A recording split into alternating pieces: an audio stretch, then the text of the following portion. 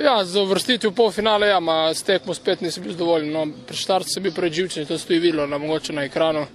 Potem prvo polovico sem malo spal, ne vem, kaj sem, preč sem čakal.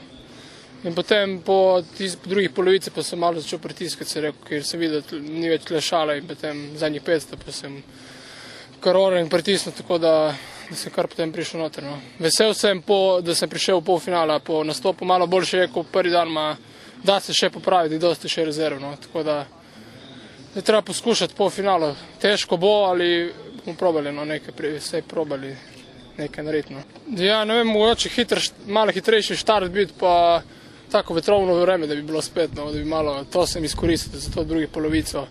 Tako da, da sem, bolj, da sem spočit, no, še kar dosti rezerve imam, no. tako da bo kar bom poskušal četrtek narediti res na maksimum, kaj bo, pa bomo videli. No.